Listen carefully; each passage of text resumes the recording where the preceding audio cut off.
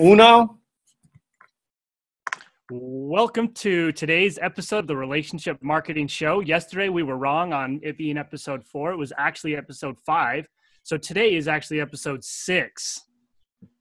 L60 today. Nice, nice. Always in Espanol, por favor. Yes. No más pantalones, we always say in meetings. That's true. It is true. So, Chandler Walker out in Reno and Dave Picardi coming at you from Boston. For the Almost Daily Show. Almost Daily Show. So, what do we get on tap for today, Chan? So, today we wanted to talk about emotions, uh, what they are, what they mean, and how you really tap into people's emotions when you're talking to them in your content and your marketing and all of that. And it comes down to the fact that it's it's not trying to trick people by being sleazy and giving them stupid power words. It's more about understanding the basic human emotions and understanding how to tap into those emotions. Yeah, I think you know we we we see this a lot on the content side. So you know, we're working with clients and developing this custom content um, approach, right? To, to be able to push and, and showcase yourself and, and bring out personalities and do all these things. Uh, but when you interact with your community um, or clients or you know whatever your business um, is, you know most of the people we work with are in uh, like a relationship community type business.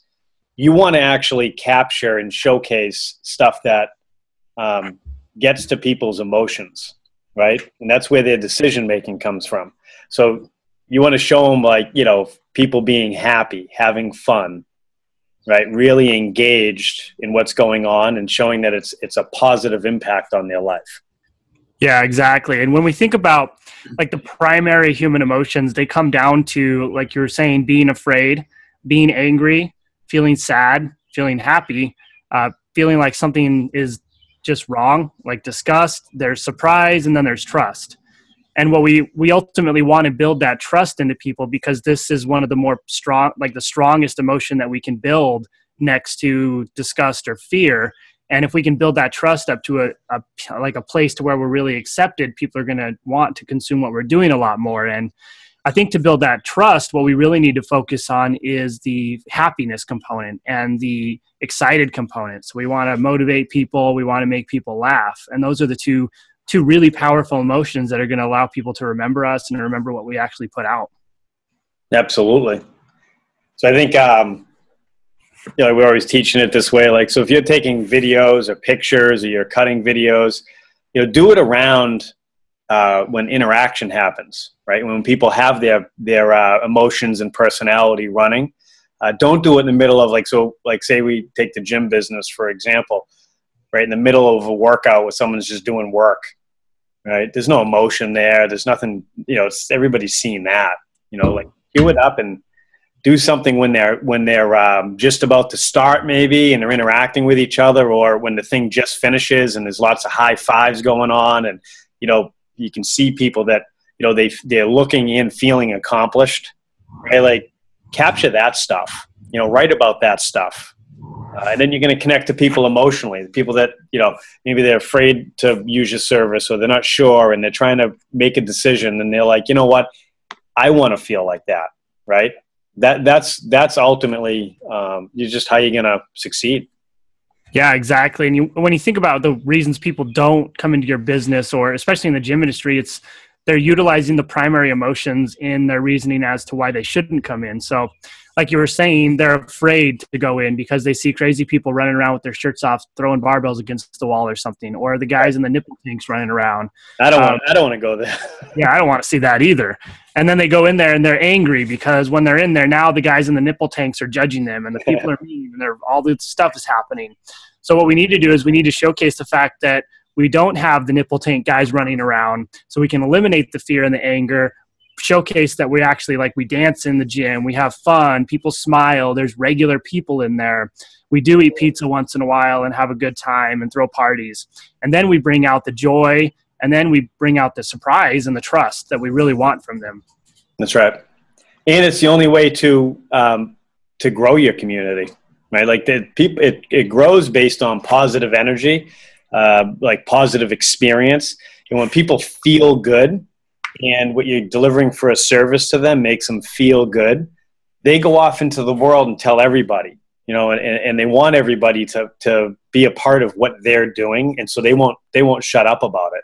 And that's your annoying friend. And we've seen it for a while. I think it's died down, and it's I think it's died down. And now, whereas like you know, you go to a party and there's the crazy fitness person, or there's the crazy you know in anything. Like if you've had a good experience, if I had a good experience with a guy that cuts down trees, right, and he did an exceptional job, and he didn't just cut the tree down, he actually conversed with me. He educated me a little bit. He was telling jokes, right? He, I, I, I saw an exceptional craft happening. Like he actually engaged. I'll go tell everybody how unbelievable the guy was, and all he, you know, maybe he's just a tree cutter, you know. But it's yeah. how he delivers the service to me, so that it makes me feel, it gets to my emotions, is what matters. And then I'm going to go tell everybody. Yeah, that's huge. And what you're talking about here that's really big it's it's the fact that you're building like admiration around your community. So you want people to feel like they, they're connected to it. They want to feel like they really feel proud of this and they're really pumped to say that like I did this and I was a part of this or I bought this thing and it was the greatest experience I ever had. The people I talked to were incredible. Everybody brought me in. I still get emails and fun stuff from them. And so we want to build that. We want them to admire what you're doing and then we, we we want them to look positively at what you're doing versus just accepting it which is right. what most businesses focus on just the acceptance fact where get them in get them to buy stuff and then that's it but for us it's build a relationship build trust utilize the basic emotions in a positive way to get them to admire what you're doing then they purchase and now you've created a raving fan and a community that's going to follow you forever right i think that like we, i think let's tie it in the sales here a little bit so any business um, anywhere has to do sales in order to maintain and grow business. So, yes. uh, high level sales, right? So, at a low level, it's actually one on one, and you're trying to close people, and they get, you know, depending on the pressure of the business you're in, like some pretty high pressure sales techniques. High level sales, though, is not about high pressure techniques. It's about building relationships and rapport and you know seeing if it's a good fit based on somebody's pain and there's all the science behind it so what we want to do from a content in, in like I guess strategy and you know when, we, are talking about getting to people's emotions, uh, you know we're just trying to change lives and regardless of what type of business you're in, if you go into it where you want to actually build relationships and affect people's lives in a positive way, they might not be your client. So it's not that everyone you talk to. my phone. Uh oh. Your phones off it's not it's not like everybody you talk to is supposed to be your client you want to make sure that if, that you're connecting with everybody and you're putting out such a positive vibe that they then share you and your vibe and how you make them feel emotionally with their community it's the fastest way to grow your business is to get into other people's communities and you do that through getting in through their emotions and actually giving them some value and connecting with them, you know, on a human level. That's it. Build that referral culture by focusing on trust, building a positive environment around what you're doing, getting people excited. And then when you when it gets to the sale, like you're saying, all it is is it's just a conversation. Like you've been following us for a while. Let's talk about what you need. Let's make a decision as to what whether whether or not it makes sense to move forward. And then let's move forward. But then I think like the big thing, and you always hear this, like the sale is made in the bar.